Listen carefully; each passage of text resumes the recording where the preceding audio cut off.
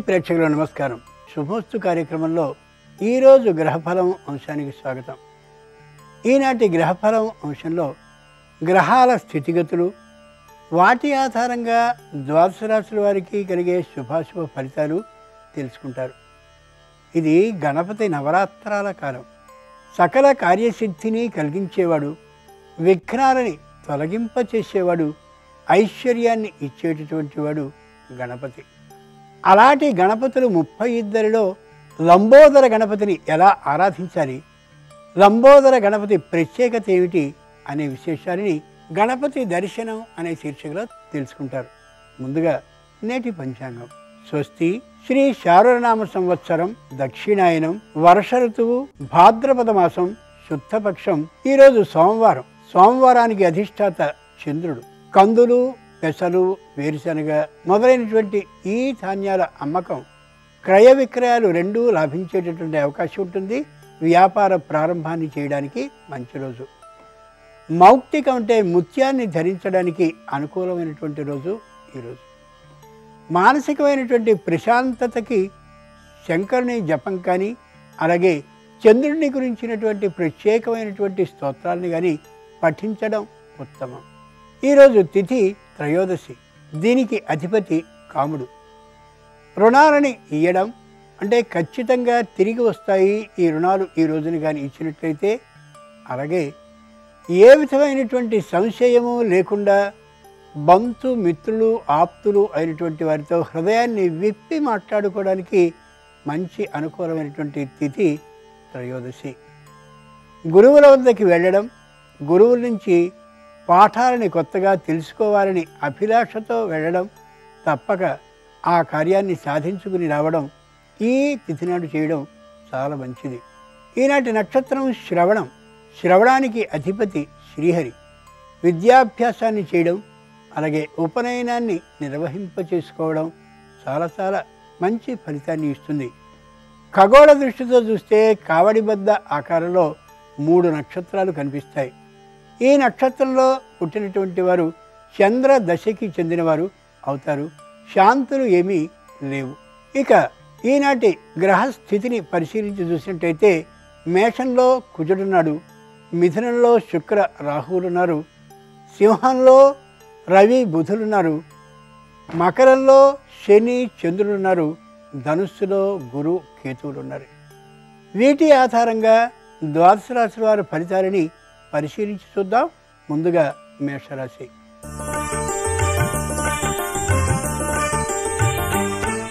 ఈరోజు మేషరాశి వారి ఫలితాలని పరిశీలించి చూస్తే మహిళల్లో తాత్కాలికమైనటువంటి మానసిక అశాంతి గోచరిస్తుంది. దానికి కారణం కుటుంబంలో ఉండేటటువంటి సంతానానికి వివాహాలు దూరం అవుతూ ఉండడమే.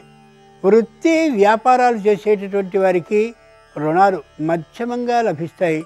వ్యాపారం అభివృద్ధి పథంలో ఉన్నప్పటికీ కూడా రుణం ఎక్కువగా దొరకని కారణంగా వ్యాపార విస్తరణని చేయలేకపోవచ్చు. ఉద్యోగస్తులైనటువంటి వారికి ఉద్యోగం ప్రశాంతంగా ఉంటుంది చక్కగా ఉంటుంది. అయితే కొత్తగా అధికారి మారినటువంటి కారణంగా అతని పద్ధతి వీరికి అలవాటు కాక ఇబ్బందిగా అనిపించవచ్చు. కార్మిక రంగానికి చెందినటువంటి వారికి చెప్పుకోదగ్గటువంటి కష్టాలు నష్టాలు ఏమాత్రము ఉండనే ఉండవు. వ్యావసాయిక రంగానికి చెందినటువంటి వారు పంట మార్పు ఆలోచనకు వస్తారు. కేవలం ఆర్థికమైనటువంటి లాభాన్ని అపేక్షించి మాత్రమే.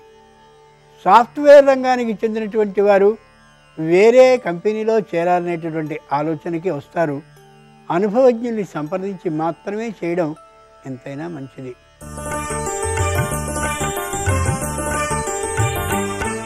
ఇక ఈరోజు వృషభ రాశి వారి ఫలితాలని పరిశీలించి చూస్తే మహిళల్లో తీవ్రమైనటువంటి కోపం వచ్చే అవకాశం కనిపిస్తోంది. ఏదో కారణంగా ఆచి తూచి మాట్లాడాలి. కోపాన్ని సంయమనంతో అణుచుకోవడం అవసరం. వృత్తి వ్యాపారాలను చేసేటటువంటి వారిలో తాత్కాలికమైనటువంటి అభద్రతాభావం గోచరిస్తూ ఉంటుంది. వ్యాపారాన్ని చేయగలమా అనే చిన్న సంశయం ఏర్పడుతూ ఉంటుంది. పట్టుదలతో వ్యాపారాన్ని చేస్తే అన్నీ అనుకూలంగానే ఉంటాయి. ఉద్యోగాన్ని చేసేటటువంటి వారికి స్థాన చలన సూచన ఆలోచన కలుగుతుంది. అది ఏమాత్రపు మంచి ఆలోచన కానే కాదని గ్రహించుకోగలగాలి. వ్యావసాయిక రంగానికి చెందినటువంటి వారికి పంట మీద ఉండేటటువంటి ఆ భూమిని అమ్మి దానివల్ల ఎక్కువ లాభాన్ని సంపాదించాలి అని అనుకుంటారు. అది ఏమాత్రము సరికాని ఆలోచనే. ఉద్యోగస్తులైనటువంటి వారికి మంచి కీర్తి ప్రతిష్టలు లభిస్తాయి. అధికారుల ప్రశంస కూడా లభించే అవకాశం ఉంది. సమయపాలనని పాటించినట్లయితే అలాగే నిర్లక్ష్య భావాన్ని కానీ విడిచినట్లయితే గుర్తుంచుకోగలగాలి.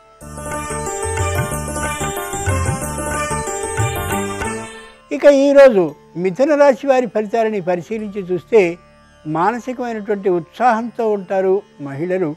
ఏ విధమైనటువంటి అనారోగ్య భావన వారికి ఉండనే ఉండదు. వృత్తి వ్యాపారాలను చేసేటటువంటి వారు చక్కనైనటువంటి మెళుకువల్ని తెలుసుకున్న కారణంగా చక్కగా వృత్తి వ్యాపారాల్ని నిర్వహించుకోగలుగుతారు పెద్దల పరిచయాన్ని కూడా పొందగలుగుతారు. ఉద్యోగాలు చేసేటటువంటి వారికి రాజకీయ రంగ ప్రవేశాన్ని చేయాలనే ఒక ఆలోచన కలుగుతుంది. అనుభవజ్ఞులు బాగా తెలిసినటువంటి వారు అయిన వారితో సంప్రదించి మాత్రమే నిర్ణయాన్ని తీసుకోవడం ఎంతైనా అవసరం. సాఫ్ట్వేర్ రంగానికి చెందినటువంటి వారు బాగా పనిచేస్తారు. అధికారుల ప్రశంసల్ని పొందుతారు. వారు వీరి మీద ఉండేటటువంటి ఇష్టంతో మరో ప్రదేశానికి బదిలీ చేసి అక్కడ సంస్థని అభివృద్ధి చేయాలి అని అనుకోవచ్చు. వ్యతిరేకించడం తప్పనిసరి. కార్మిక రంగానికి చెందినటువంటి వారు రుణాన్ని తీసుకుంటారు. దాన్ని ఎందుకుగా రుణాన్ని తీసుకున్నారో దానికే వినియోగించి సత్ ఫలితాలని పొందగలుగుతారు.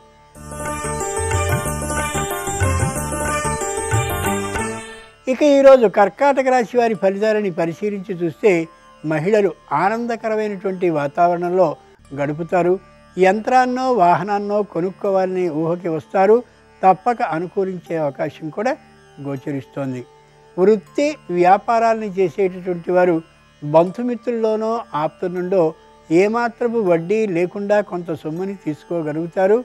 వ్యాపార విస్తరణకి వినియోగిస్తారు. తప్పక తీర్చేటటువంటి అభిప్రాయంతోనే ఉంటారు ఏ విధమైన ఇబ్బంది లేదు. కార్మిక రంగానికి చెందినటువంటి వారు సంపూర్ణ భద్రతా ప్రమాణాలని పాటిస్తూ అనారోగ్య భావన లేకుండా ఉంటారు కుటుంబంలో కూడా మంచి విశ్వాసాన్ని కలిగింపజేస్తారు తమ కార్మిక రంగ విధానాన్ని గురించి. ఉద్యోగాలను చేసేటటువంటి వారు సమయపాలనతో ఉంటారు అంకిత భావంతో ఉంటారు. అయితే తోటి ఉద్యోగులతో మాత్రం సమన్వయ భావంతో ఉండనటువంటి కారణంగా చిన్న పొరపత్యాలు ఏర్పడే అవకాశం గోచరిస్తోంది. గుర్తుంచుకోగలగాలి. వ్యావసాయిక రంగానికి చెందినటువంటి వారు మిర్చి మొదలైనటువంటి ఆ పంటల్ని పూర్వం నిలవ చేసినటువంటి వాటిని అమ్మి మంచి లాభాన్ని పొందుతారు ఈ రోజున.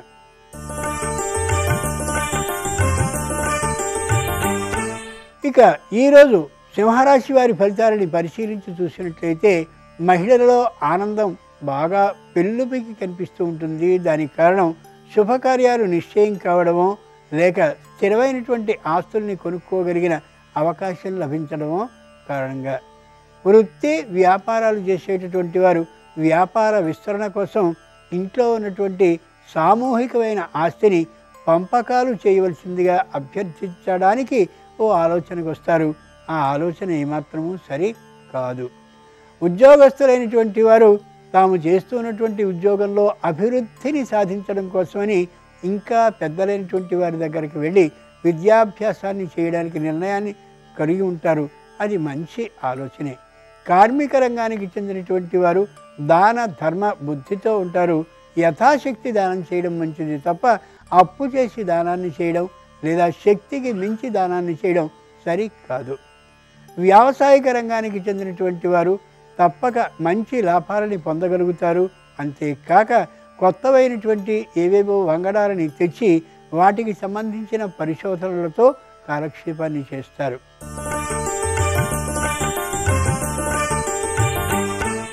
ఇక ఈరోజు కన్యారాశి వారి ఫలితాలని పరిశీలించి చూస్తే మహిళలు మంచి ఉత్సాహంగా ఉంటారు.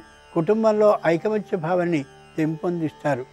వృత్తి వ్యాపారాలను చేసేటటువంటి వారి కుటుంబాల్లో ఆనందాలు వెళ్ళి విరుస్తాయి ఆర్థికమైనటువంటి లాభాలు వస్తున్నటువంటి కారణంగా.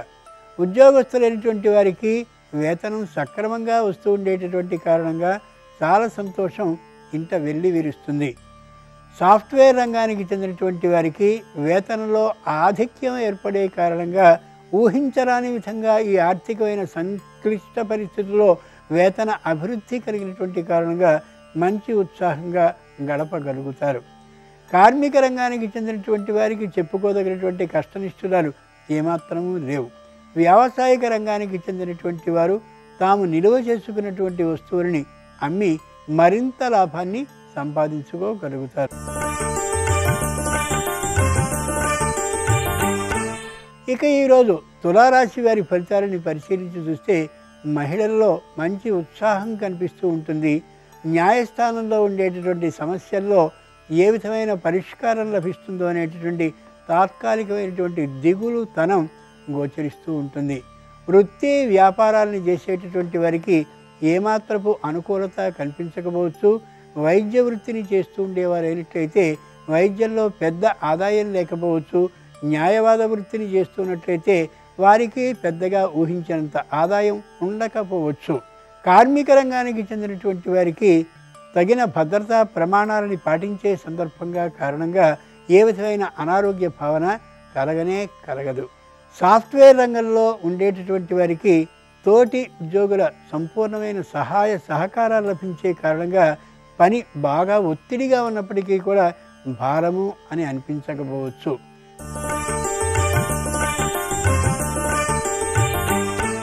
ఇక ఈరోజు వృశ్చిక రాశి వారి ఫలితాలని పరిశీలించి చూస్తే మహిళల్లో సంతోషం బాగా వెల్లివిరుస్తుంది. ఆర్థికమైనటువంటి లాభం తల్లిదండ్రుల నుంచి ఎక్కడి నుండో వచ్చేటటువంటి కారణంగా ఉత్సాహపూరిత వాతావరణం కనిపిస్తూ ఉంటుంది.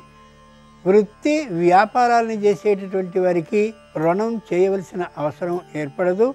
రుణం చేసే ధైర్యం కూడా ఉండకపోవడం చెప్పుకోదగ్గటువంటి అంశమే.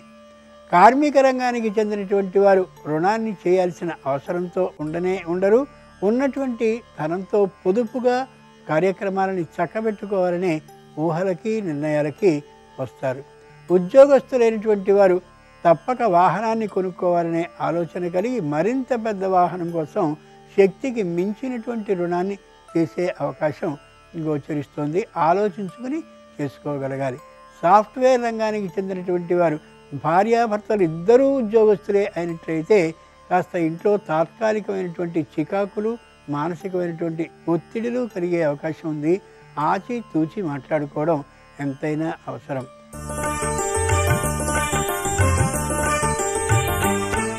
ఇక ఈరోజు ధనురాశి వారి ఫలితాలని పరిశీలించి చూస్తే మహిళలకి సంతాన లాభ సూచన కనిపిస్తోంది. తప్పక సంతానం వచ్చే అవకాశం గోచరిస్తోంది. వృత్తి వ్యాపారాల్లో ఉండేటటువంటి వారికి స్థిరమైనటువంటి ఆస్తిని కొనుక్కోవాలనే బలమైన ఆలోచన కలుగుతుంది. దానికి సరిపోయినటువంటి తీరుగా అడుగుల్ని వేస్తూ కనిపిస్తారు. సాఫ్ట్వేర్ రంగానికి చెందినటువంటి వారు రుణం కోసం ప్రయత్నిస్తారు స్థిరాస్తిని కొనడం కోసం కానీ అది అనుకూలించకపోవచ్చు. ఉద్యోగాలు చేస్తూ ఉండేటటువంటి వారికి అధికారుల నుంచి ఏ విధమైనటువంటి ఒత్తిడి లేనటువంటి కారణంగా ఉత్సాహంగా ఉంటారు. పని ఏమాత్రము భారంగా కూడా ఉండనే ఉండదు. యువకులైనటువంటి వారు వక్ర మార్గాలని పట్టేటటువంటి అవకాశం కనిపిస్తోంది కాబట్టి తల్లిదండ్రులు వాళ్ళని పట్టించుకుని ఉండడం ఎంతైనా అవసరం. ఎక్కడికి వెడుతున్నప్పటికీ కూడా వివరాలని అడగడం చాలా చాలా అవసరం.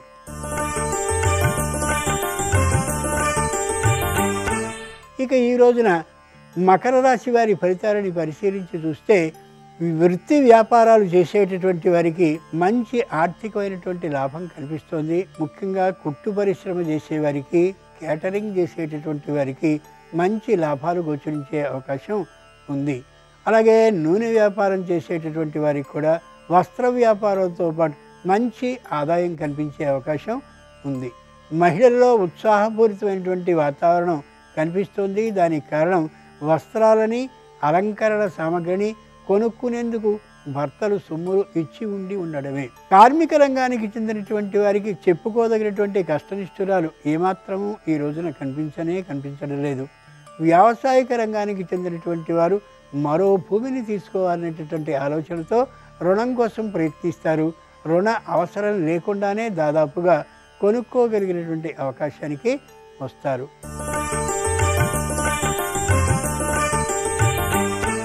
ఇక ఈరోజు కుంభరాశి వారి ఫలితాలను పరిశీలించి చూస్తే మహిళల్లో సంపూర్ణమైన ఉత్సాహం గోచరిస్తూ ఉంటుంది. దానికి కారణం భర్త చేస్తున్నటువంటి వ్యాపారానికి చేదోడు వాదోడుగా ఉంటూ ఉండడం ఆర్థికమైనటువంటి లాభాన్ని పొందుతూ ఉండడం. వృత్తి వ్యాపారాలను చేసేటటువంటి వారికి అందరూ అనుకూలిస్తూ ఉంటారు. ఈ రాశి వారి యొక్క మంచితనం మాత్రమే కారణం. ఉద్యోగాన్ని చేసేటటువంటి వారికి తోటి ఉద్యోగులతో పాటు పై ఉద్యోగులు కూడా సహకరిస్తూ ఉంటారు. దాని కారణంగా పురస్కారం లభించేటటువంటి అవకాశం కూడా గోచరిస్తోంది. కార్మిక రంగానికి చెందినటువంటి వారు అశ్రమంగా విజయాన్ని సాధించగలుగుతారు. ఏదో ఒక బహుమానాన్ని కూడా సంస్థ నుండి పొందగలిగే అవకాశం గోచరిస్తోంది. వ్యవసాయ రంగానికి చెందినటువంటి వారు తప్పక ఉత్తమ ఫలితాలని సాధిస్తారు. కానీ వ్యవసాయ భూముల్ని అమ్మాలనే ఆలోచనకి రావడం ఏమాత్రం సరికాదు. ఎంత మూల్యం ఎక్కువగా వచ్చినప్పటికీ కూడా బేరం దాన్ని అమ్మడం ఏమాత్రం సరికాదనే గట్టి నిర్ణయంతో ఉండాలి.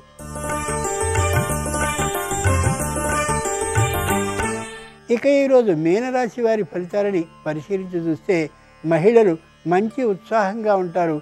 దానికి కారణం పిల్లల్ని ఎక్కువసేపు పట్టించుకొని చదివించగలగడం ప్రవర్తనని సరిచేస్తూ ఉండడం కుటుంబంలో తమ పిల్లలతో తాము గడపగలిగిన అవకాశానికి నోచుకోవడం మాత్రమే కారణం. వృత్తి వ్యాపారాన్ని చేసేటటువంటి వారు ముఖ్యంగా షేర్ల వ్యాపారాన్ని చేస్తూ ఉండేవాళ్ళు తాత్కాలికమైనటువంటి నష్టానికి గురి అయ్యే అవకాశం ఉంది. అంచేత మానసికమైనటువంటి ఒత్తిడితో ఉండొచ్చు. ఉద్యోగస్తులైనటువంటి వారు ఇతరమైనటువంటి వ్యాపారాలని ధనంతో చేసేటటువంటి వ్యాపారాలంటే షేర్లు మొదలైనటువంటి వ్యాపారాలని చేయదలిస్తే ఆర్థికమైనటువంటి లాభం మాట అటుంచి తగినంత సమయాన్ని వెచ్చించలేనటువంటి కారణంగా ఇబ్బంది పడే అవకాశం గోచరిస్తోంది. కార్మిక రంగానికి చెందినటువంటి వారు దుర్వ్యసనాలకి పాల్పడే అవకాశం గోచరిస్తుంది కాబట్టి కుటుంబంలో ఉండే సభ్యులు వాళ్ళ ప్రవర్తన మీద ఒక కన్ను వేసి ఉంచడం ఎంతైనా అవసరం. వ్యావసాయక రంగానికి చెందినటువంటి వారికి చెప్పుకోదగినటువంటి ఇబ్బందులు కష్టనష్టాలు ఏమాత్రమూ లేవు. అయితే వర్షం అధికంగా ఉండేటటువంటి కారణంగా స్వీయ పర్యవేక్షణ మాత్రం తప్పనిసరి. లంబ ఉదర గణపతి. అంటే పెద్ద బజ్జ ఉన్నవాడు అని అర్థం కాదు. ఒరేలాడుతున్న బజ్జ కలవాడు అని అర్థం. ముప్పై ఇద్దరు గణపతుల్లో లంబోదర గణపతికి ఒక ప్రత్యేకత ఉంది. ఆయన్ని ఎలా ఆరాధించాలో ఆయనకున్న ప్రత్యేకత ఏమిటో గణపతి దర్శనం అనే శీర్షికలో ఇప్పుడు తెలుసుకుందాం.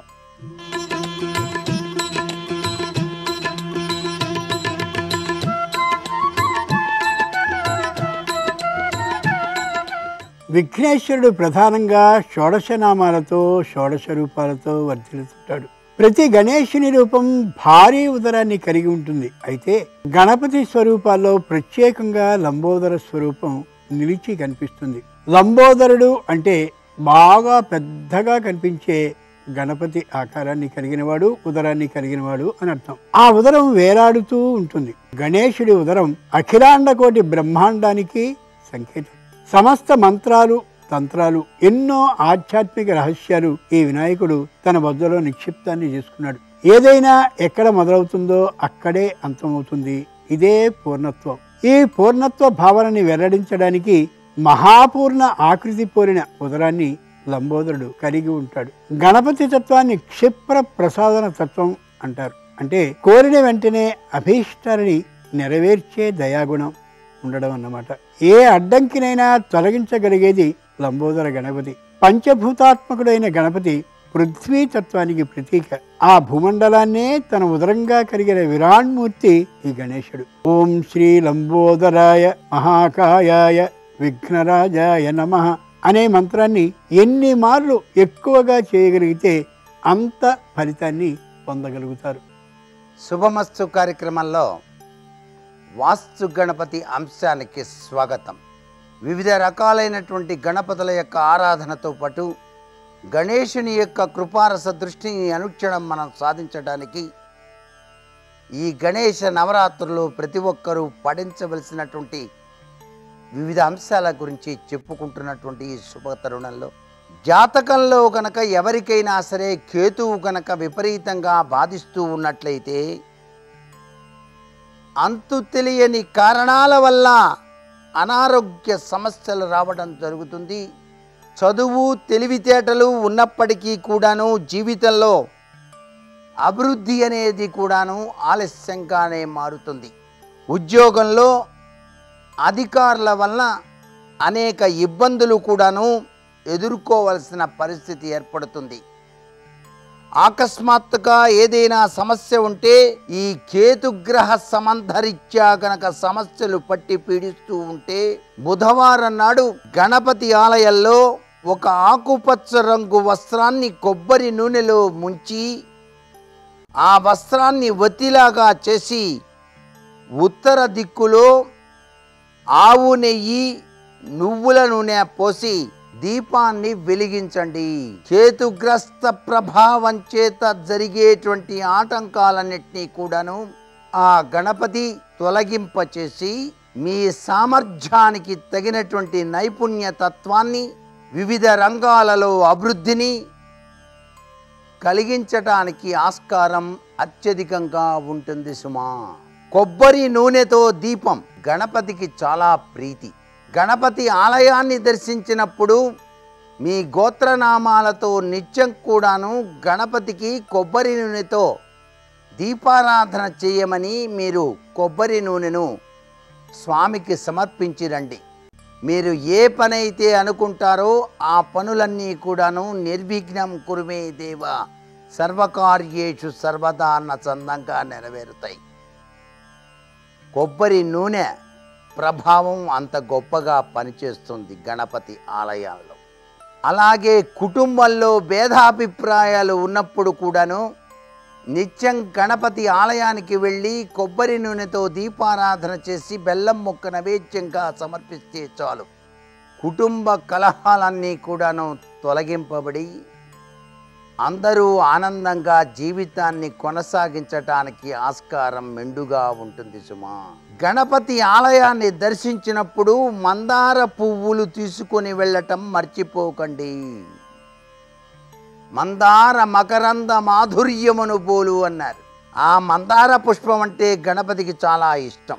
మందార పుష్పాలు స్వామికి సమర్పించి ఒక చిన్న దానిమ్మ కొమ్మ స్వామికి సమర్పించినట్లయితే దానిమ్మ గింజలు కూడాను స్వామికి నివేదన చేసి ఆ ప్రసాదాన్ని అంతా కూడా భక్తులకు కనుక పంచినట్లయితే అంతఃశత్రు బాధల నుంచి మీరు బయల్పడటానికి స్వామివారు తన దివ్యవంతమైన అనుగ్రహాన్ని ప్రసాదిస్తాడు సుమా. పైకి మిత్రులుగా కనిపించినా లోపల అంతఃశత్రుతత్వం కలిగి ఉన్నవాళ్ళు ఉన్నారు కాబట్టి ఆ శత్రుత్వ బాధల నుంచి బయటపడటానికి గణపతి కేవలం ఒక్క దానిమ్మ గింజల నైవేద్యంతోనే అనుగ్రహాన్ని మనకు ప్రసాదింపచేస్తాడు. వాస్తుశాస్త్రీత్యా కూడాను మన పనులు గనక నిర్విఘ్నంగా నెరవేరాలంటే ఇంటి ప్రాంగణంలో దానిమ్మ చెట్టు పెంచాలి. ఆ దానిమ్మ పూలు పూసేటువంటి చెట్టు చాలా విశేషం. ఆ పూలను స్వామివారికి నిత్యం కూడా సమర్పించవచ్చు. అలా సమర్పించినట్లయితే వివిధ రంగాలలో అభివృద్ధిని మనం సాధించడానికి ఆస్కారం ఎక్కువగా కనిపిస్తుంది. స్వామి విగ్రహం దగ్గరికి వెళ్ళండి. గరిక పోచలు ఎనిమిది ఒక రావి ఆకు. ఈ రెండు కూడా కలిపి స్వామి దగ్గర ఉంచి నమస్కారం చేయండి. గ్రహచార రీత్యా మిమ్మల్ని పట్టి పీడిస్తున్న శని వెంటనే తొలగిపోవటానికి ఆస్కారం ఉంది. శనిగ్రహ దోషరీత్యా సంభవించేటువంటి వివిధ రకాలైన ఉపద్రవాలు కూడా కేవలం గణపతిని ఆరాధించడం వలన తొలగింప చేసుకోవచ్చు సుమా. ఇంత గొప్ప విశ్లేషణ ఈ యొక్క నవరాత్రుల సందర్భంగా ప్రతి ఒక్కరూ కూడాను గుర్తుపెట్టుకోవాలి. అలాగే గణపతి దేవునికి తెల్ల జిల్లేడు పూలు వెలగపండు ఇవి గనక గనక సమర్పించినట్లయితే హృదయ సంబంధమైన నేత్ర సంబంధమైనటువంటి రుగ్మతలన్నీ కూడా పటాపంచలైపోతాయి అంటోంది శాస్త్రం. ఈ గణేశ నవరాత్రులు కూడాను ఇలా సమర్పించటంలో తప్పు లేదు. ఇలా గనక చేసినట్లయితే అనారోగ్య లక్షణాలన్నీ కూడాను పటాపంచలైపోతాయి. మరికొన్ని ముఖ్య విషయాలు రేపటి శుభమస్తు కార్యక్రమంలోని వాస్తు గణపతి అంశంలో తెలుసుకుందామా మరి? సర్వే జనా సుఖినో భవంతు.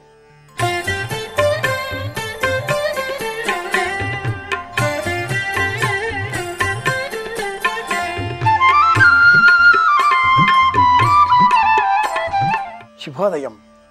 శుభమస్తు కార్యక్రమంలో గణపతి కటాక్షం అనే అంశానికి స్వాగతం. గణానాం త్వా గణపతి గుంభవామహే ఇదొక మంత్రం. నిశిషి ఈత గణపతే గణేషత్వా ప్రాహుర్విప్రతమం కవీనాం ఇది ఒక మంత్రం. ఇలా ఎన్నో మంత్రాలతో గణపతిని వైదిక మార్గం స్తోత్రం చేస్తుంది.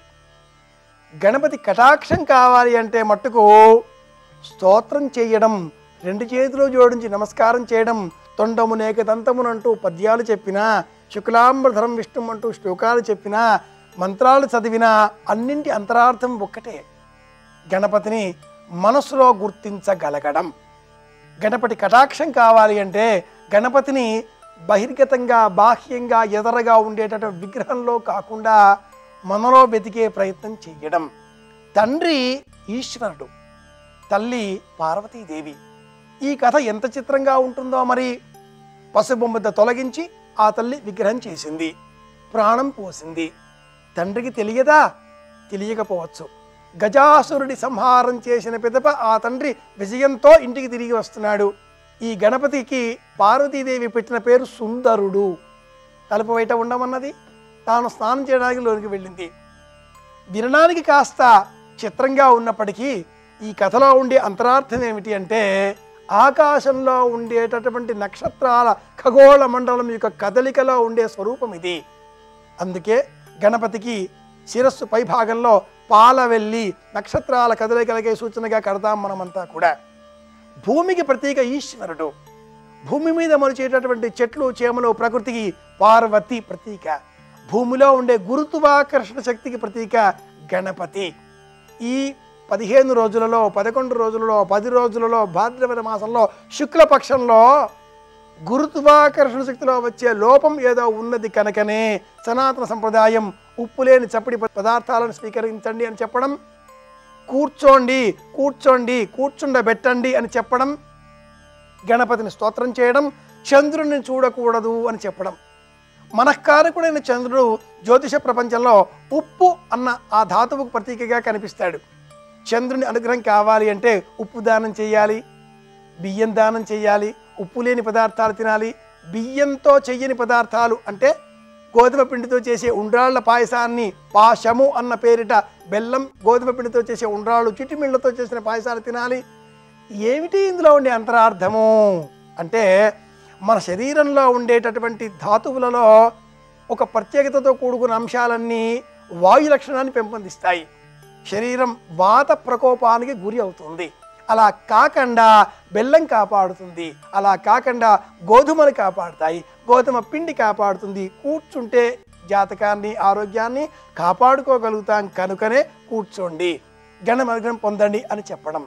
చంద్రుడిని చూడకూడదు అని చెప్పడంలో ఉండే అంతరార్థం ఇది.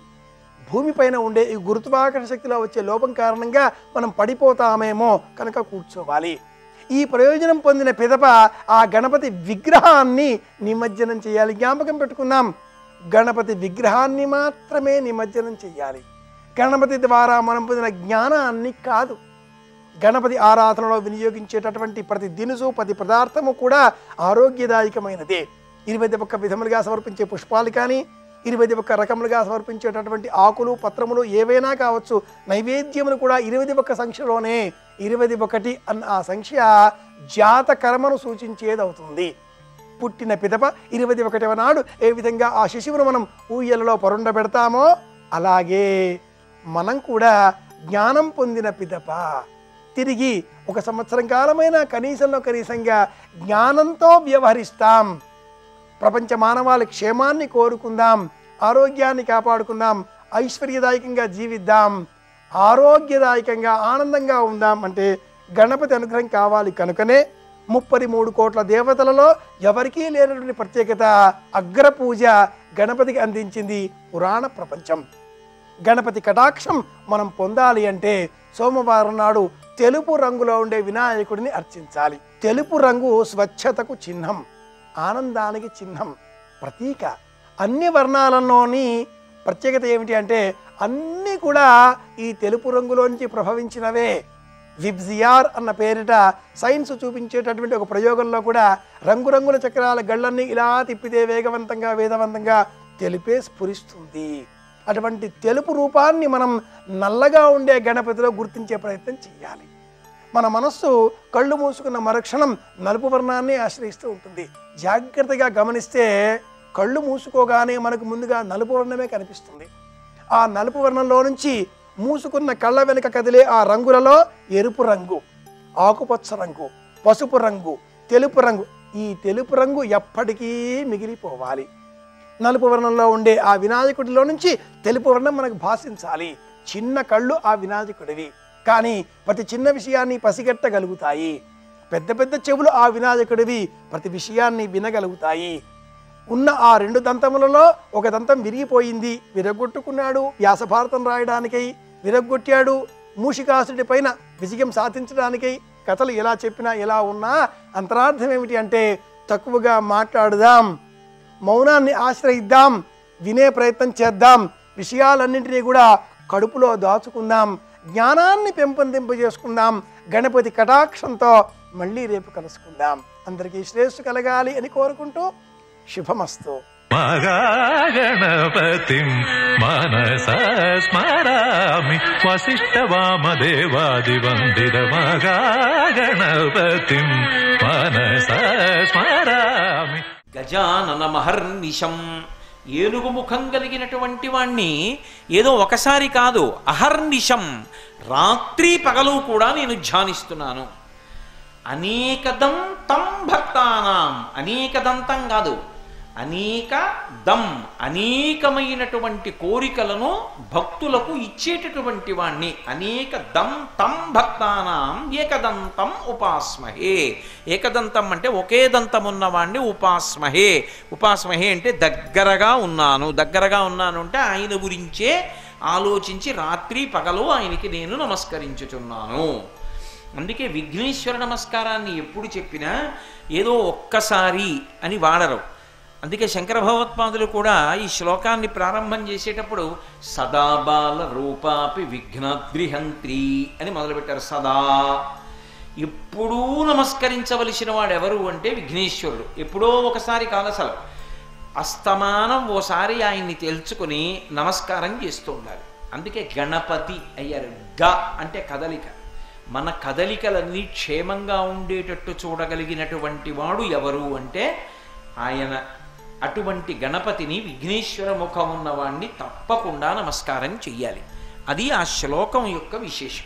శమంతకోపాఖ్యానము అని చెప్పి ఒక కథ వింటుంటాం. మనకి లోకంలో ఏదైనా ఒక వ్రతం చేశామనుకోండి ఏ వ్రతమైన ఋషి ప్రోక్తం?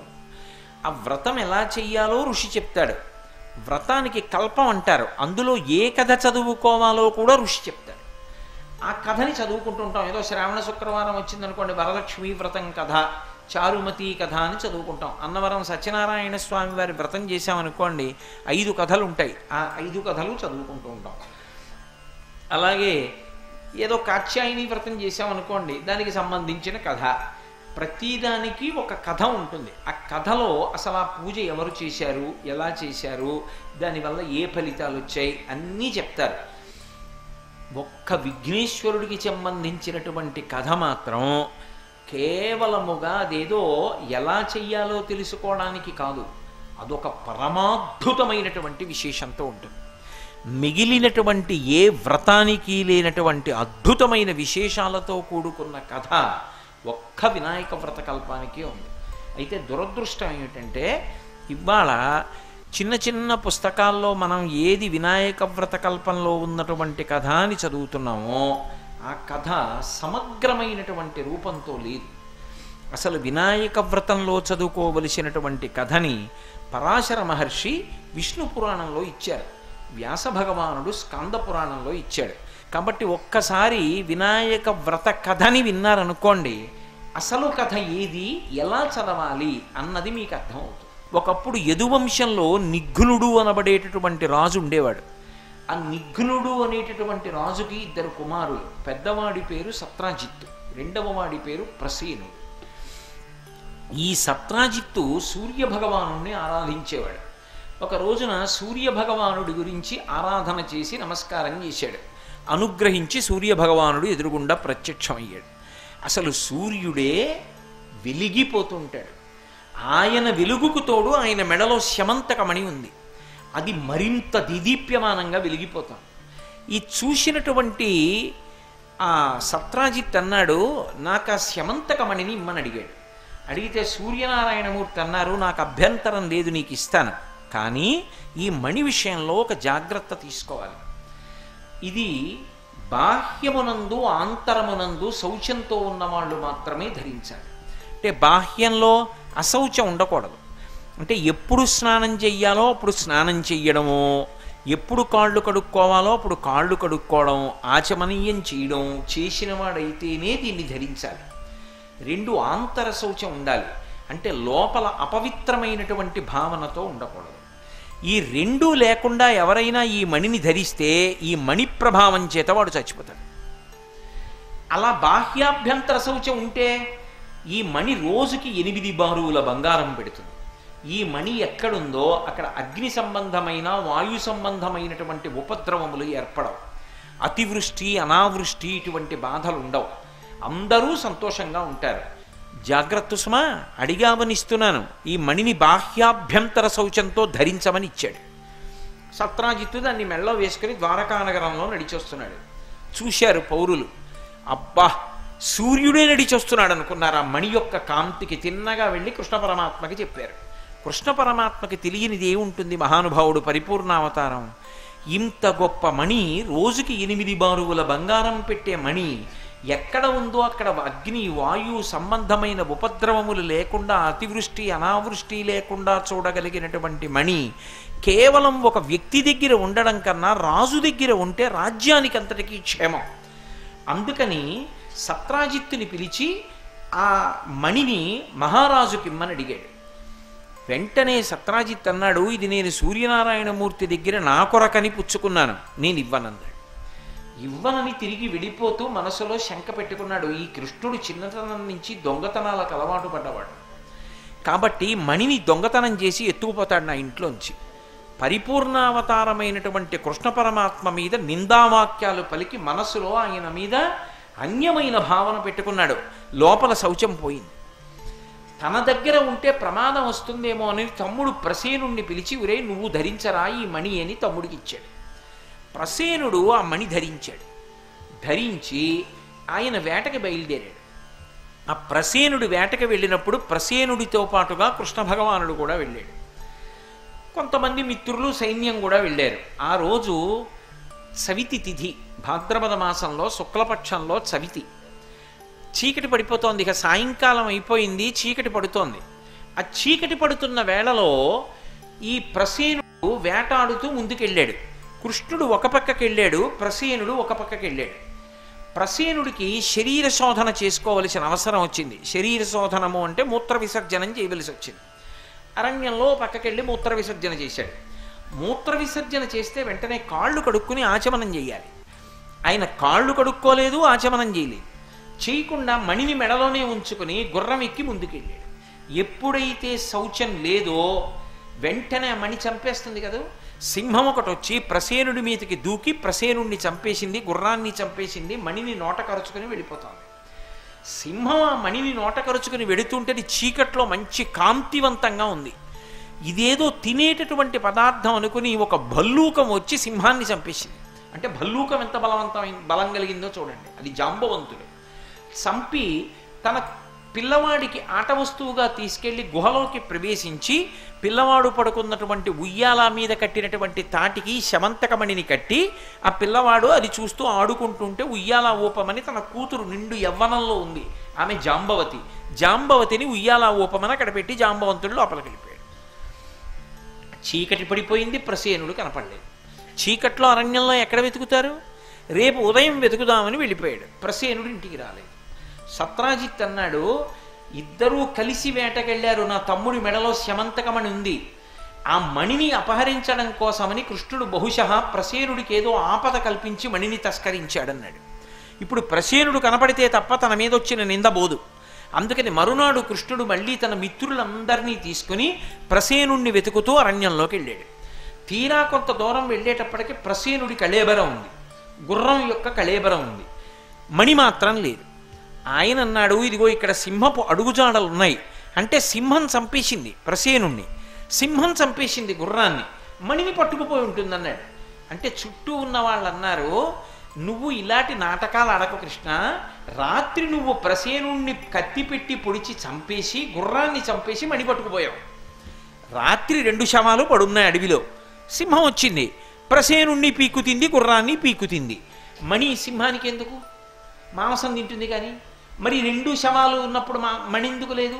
నువ్వే వాళ్ళిద్దరినీ చంపేశావు సింహం వచ్చి తింది అందుకు సింహం అడుగుజాడలు ఉన్నాయి. మణి నీ దగ్గరే ఉందన్నారు.